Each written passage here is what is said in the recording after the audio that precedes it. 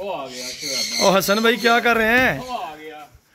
आज आप हमारे शेड में आए हैं तो साथ ही रौनक लगी है बर्ड के साथ में। मिनी जू तैयार करना है मैंने भी। तो मैं थोड़ा समझ नहीं आया केजेस के साइजेस वगैरह इनके पास और जो भी है मतलब इनशाला हसन भाई ज़रूर। मुझे ये बताएँ आप एक सक्सेसफुल यूट्यूबर हैं। जू भी बहुत प्यारा बना रहे हैं मुझे पता चला है। तो मुझे ये बताएँ थोड़ा सा कि बर्ड्स कौन कौन से लगा रहे हैं? ये तो मैं आपसे पूछने आया हूँ। नहीं हम भी बताएँगे कोई अपना भी तो जहन होता है ना। तो और से आपसे पूछने के लिए आया टेक्सला ये शोएब भाई क्या कर रहे हैं उधर? शोएब भाई वो आप उधर पिंजरों में क्या कर रहे हैं? इधर आ जाए। थोड़ा सा करीब आए ना। ये शोएब भाई हैं जी ये हमारे बड़े अच्छे दोस्त हैं। ये भी लाहौर से आए हैं और ये हमारे भाई। यार बहुत एच एस एन इंटरटेन वाले और हसन भाई। बहुत अच्छे शौकीन है। सर ये आपकी मोहब्बत है इसलिए आपके पास आ रहे हैं। बहुत पास आने ये देखें माशाल्लाह। ये हसन भाई आज हमारे सेटअप पे आए हैं तो हमने सोचा चले इनके साथ एक व्लॉग में इनको भी साथ में लें क्योंकि बड़ी मुश्किल से ये ना हमारे काबू आए हैं। पिछली दफ़ा आए थे एक साल पहले तकरीबन। डेढ़ साल हो डेढ़ साल हो गया तो अभी दोबारा मुलाकात हुई है मैंने कहा चलें हसन भाई को भी साथ में लेते हैं। ये देखें माशाल्लाह बर्ड्स के हसन भाई वैसे प्लान क्या है जो बना रहे हैं जू तो उसमें किस टाइप के बर्ड्स लगाने का प्रोग्राम है? शामू। ठीक है। उसके बाद ये तीतर वगैरह। ठीक है। ये वाले तो खैर बहुत महँगे हैं। कितने का जोड़ा है? ये चकोर का? यार ये बड़ा पेड़ तो तकरीबन कुछ सिक्सटी सिक्सटी फाइव और पट्ठों का पेड़ फोर्टी छोटे वाले होते हैं। ईरानी ना लगाएँ उसमें क्या फ़ायदा है? उसमें कोई फ़ायदा नहीं है। मैंने बना रहा हूँ। सर शोकिया लगाना है वाइट चकोर लगाएँ अल्बाइनो चकोर लगाएँ मस्कती लगाएँ बर्बरी लगाएँ। वो बात ऐसे है अगर मैं ये लगाने और सर आप अमीर आदमी हैं। ये मैंने ना असल में वहाँ पे होना नहीं है लास्ट टाइम याद है मेरी बीस समानी फार्म से चोरी हो गई हाँ ये बड़ा मसला होता है।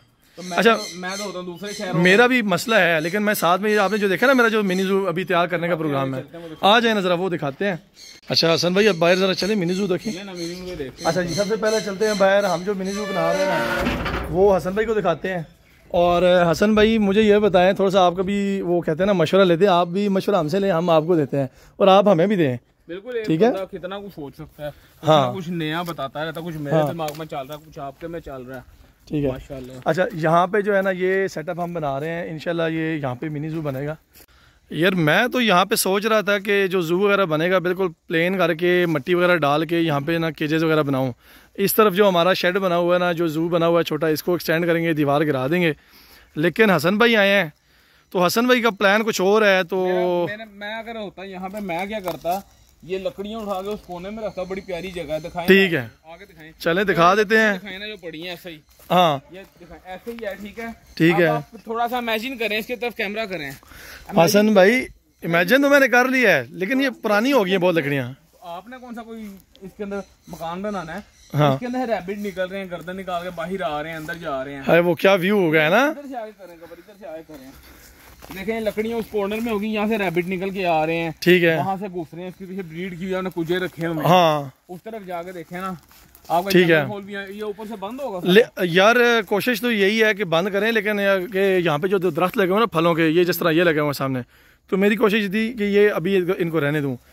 इसमें अप्रिकॉट लगा हुआ है अमरूद है और इस तरह कुछ जो है ना वो जैपनीज फल वगैरह के पौधे लगे हुए हैं। तो वो मैं सोच रहा था कि स्टिल उनको रहने दूँ। ये देखें यहाँ पर वो लकड़ियाँ सारी पड़ी हों। ठीक है। इसके पीछे से वो अब जाली लगा के या चादर लगा के जो भी लगा के अपना बंद करना है बंद कर दें। ठीक है। इसके अंदर जाएँ यहाँ पर वो अपनी ब्रीड वगैरह करें बाहर आए।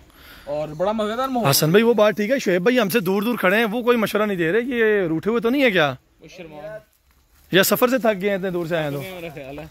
क्यों शुएब भाई? नहीं मेरी तबीयत थोड़ी सी खराब है ऊपर से मिनी जोक से मेरा ताल्लुक कोई नहीं है। अच्छा आपका तो वो शौक है पिजन का ये माशाल्लाह शुएब भाई हैं जी। बादशाह हाँ बच्चा ही। शौक है शुएब भाई का बड़ा निराला शौक है जी फैंसी पिजन का सेटअप है इनका बहुत प्यारा है लाहौर में। लाहौर में है ना? नहीं नहीं फैसलाबाद। ओ सर फैसलाबाद में। ये तो पक्के लाहौरी हैं।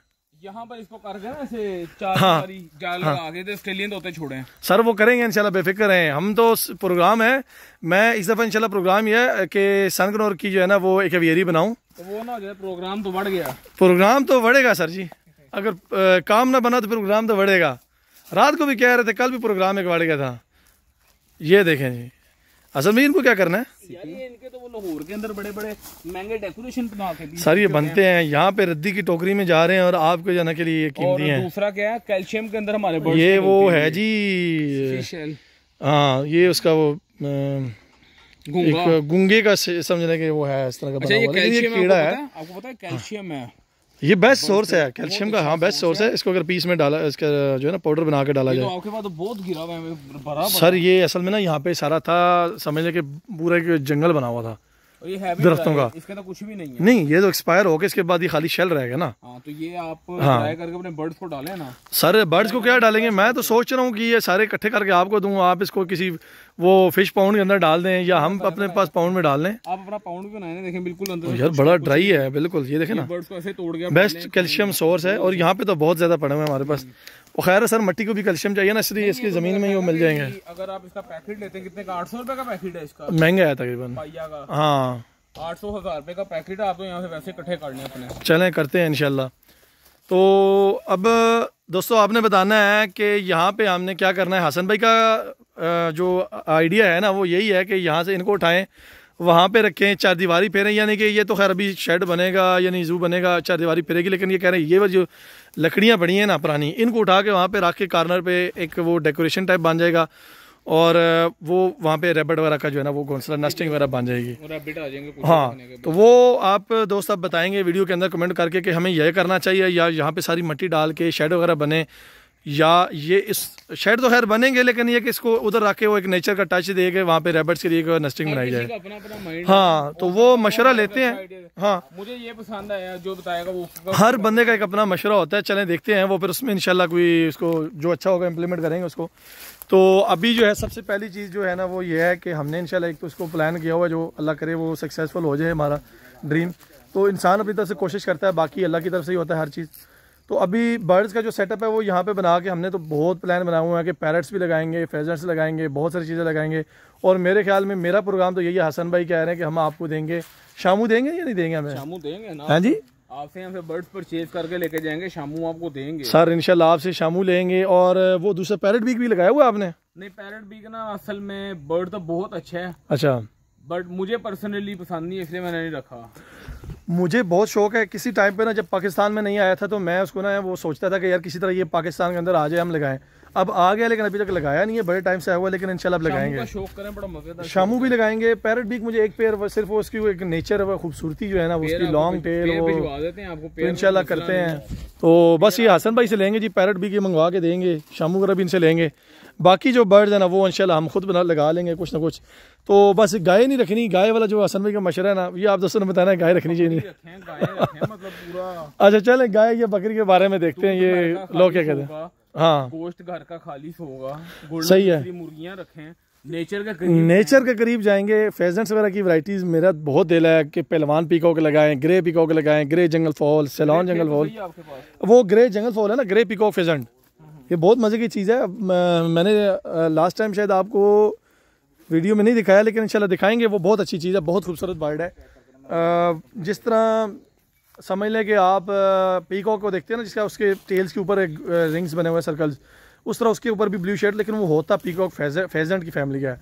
खैर, वो करते हैं इंशाल्लाह, चलें, अभी शेड में चलते हैं जू के अंदर, और हसन भाई को लेके जाते हैं, इनको अभी तक मैंने ना तो चाय का पूछा है तो ये इनको थोड़ा सा चाय पानी करवा लें। चाय पानी। चाय पानी करवा लें फिर आके देखते हैं फिर कोई नया प्रोग्राम बनाते हैं। क्योंकि पहले वाला प्रोग्राम दो।